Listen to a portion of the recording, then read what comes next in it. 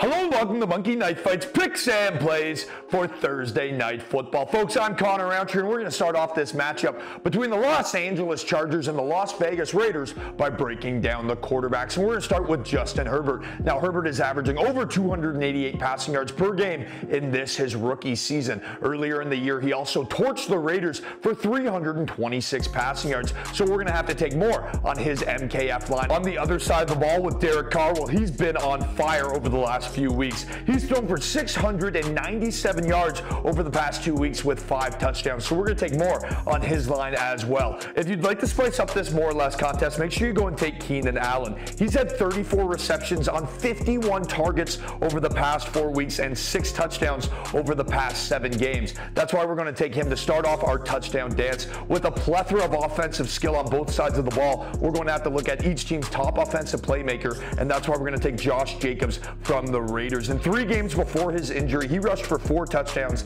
and has a total of nine touchdowns on the season. Our next pick is Darren Waller. Over the past two weeks, he's amassed 275 receiving yards on 20 catches with two touchdowns. Head over to Monkey Knife Fight right now, lay some money down, and good luck. For all the fans and players out there, I'm Conner Rowntree. Remember to hit it hard.